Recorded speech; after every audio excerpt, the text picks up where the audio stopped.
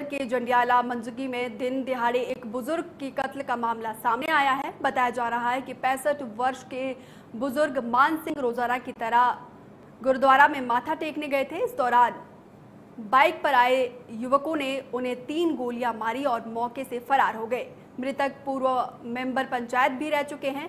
परिजनों ने पुरानी रंजिश के चलते हत्या का आरोप लगाया है। फ़िलहाल पुलिस ने मामला दर्ज किया है।